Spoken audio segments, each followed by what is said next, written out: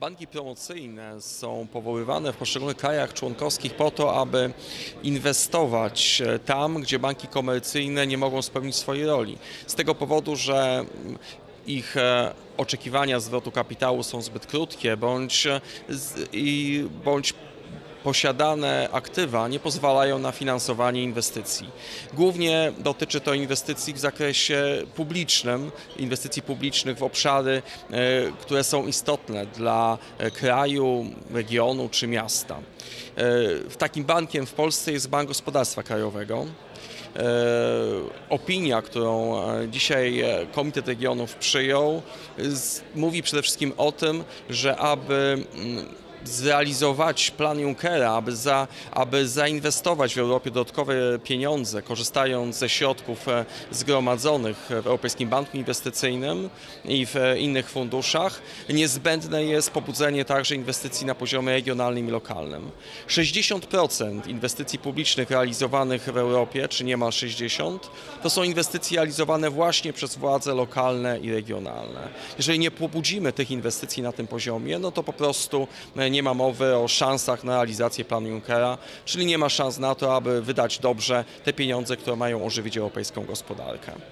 Można zrobić to w różny sposób. Tak jak mówiłem, w Polsce Bank Gospodarstwa Krajowego jest jedynym bankiem promocyjnym. E, W związku z tym mm, są dwie metody, aby pobudzić e, inwestycje korzystające z, mm, czy opierające się na planie Junckera w dziedzinie banków prorozwojowych na poziomie lokalnym czy regionalnym. Pierwszy pomysł, jaki jest możliwy, to oczywiście wzmocnienie oddziałów Banku Gospodarstwa Krajowego poprzez danie im dodatkowych kompetencji, usamodzielnienie. Dzięki temu stałyby się one jakby mocnymi oddziałami promocyjnymi w poszczególnych regionach i finansowałyby w ten sposób, miały krótszą drogę decyzyjną do inwestycji na poziomie lokalnym, regionalnym. Innym pomysłem jest tworzenie e, instytucji finansowych bądź wykorzystanie już istniejących. Na poziomie regionalnym, lokalnym mamy takie instytucje w Polsce, to są fundusze pożyczkowe, poręczeniowe.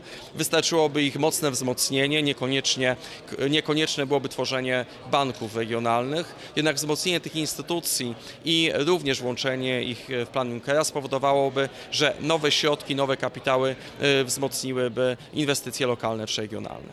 Oczywiście ta sytuacja wygląda różnie w różnych krajach europejskich. Są doświadczenia niemieckie z bankami regionalnymi, są doświadczenia francuskie czy brytyjskie, gdzie y, y, są banki łączące funkcje regionalne i e, krajowe. Są doświadczenia, które właśnie pokazują, że e, można włączyć na poziomie regionalnym funkcjonowanie banku krajowego, promocyjnego, władze lokalne, regionalne i dzięki temu te środki byłyby bliżej, e, e, e, bliżej po prostu mieszkańców danego regionu czy bliżej władz lokalnych i mogłyby realizować te cele, które są ważne właśnie dla władz lokalnych i regionalnych, dla miast czy dla województw.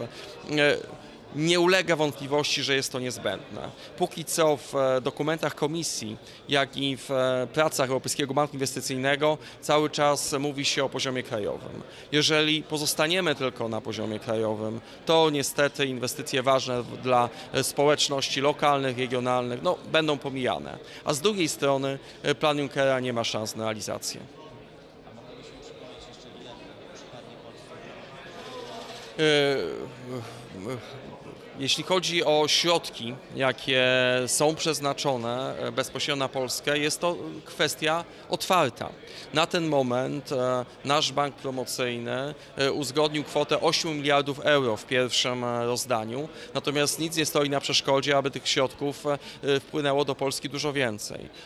Dużo, zależy od aktywności banków promocyjnych, również w przypadku, gdyby włączyć w to, jeśli chodzi o nasz kraj, instytucje na poziomie regionalnym i lokalnym i tych programów e, no, byłoby odpowiednio więcej, które wspierałyby inwestycje na tych poziomach niższych, to tych środków także mogło być jeszcze więcej. Natomiast te środki, o których wspomniałem, czyli te 8 miliardów, które wstępnie zostało uzgodnione, jeżeli ma być dobrze wykorzystane, to też e, musi być e, większa autonomia, jeśli chodzi o oddziały Ban- Banku Gospodarstwa Krajowego lub też część z tych środków bądź dodatkowe środki powinny być skierowane do lokalnych bądź regionalnych instytucji finansowych. E,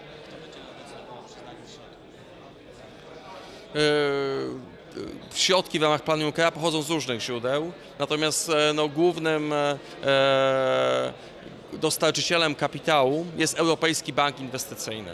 I to wygląda tak, że Europejski Bank Inwestycyjny realizuje tak naprawdę przedkładane mu projekty i to on jest dostawcą środków. Jeżeli są projekty i jeżeli jest wola polityczna ze strony e, komisji, to te środki mogą także dopłynąć bezpośrednio na poziom lokalny, regionalny. Na ten moment e, to porozumienie, o którym mówimy, czyli te 8 miliardów e, euro, to jest poziom między Bankiem Gospodarstwa Krajowego, czyli naszym Narodowym Bankiem e, Promocyjnym, a Europejskim Bankiem Inwestycyjnym. E, z- Oczywiście w uzgodnieniu z komisją.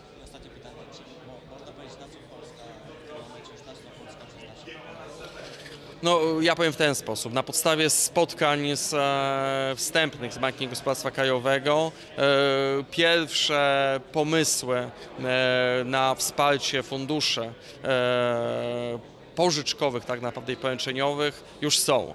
Natomiast to trzeba to traktować jako zupełny wstęp, dlatego że e, mówimy o poziomie kilkudziesięciu, maksimum kilkuset milionów euro. Także tak naprawdę te 8 miliardów, o którym mówimy, to jest kwota można ją określić jako wiszącą w powietrzu, bo tak naprawdę e, 8 miliardów, które zostało gdzieś tam wskazane, mają być to środki, e, które łącznie będą zainwestowane dzięki pieniądzom otrzymanym z Europejskiego Banku Inwestycyjnego. Póki co mówimy o pewnej teorii, pojawiły się pomysły, aby e, zaktywizować ten poziom lokalny, regionalny, ale one na razie nie weszły w życie. Więc jeżeli, pan, jeżeli odpowiadamy na pytanie, e, gdzie te środki będą zainwestowane, no to trzeba odpowiedzieć, że póki co jeszcze nie wiadomo, bo trzeba stworzyć programy i trzeba włączyć ten poziom lokalny, regionalny w ich wydatkowanie.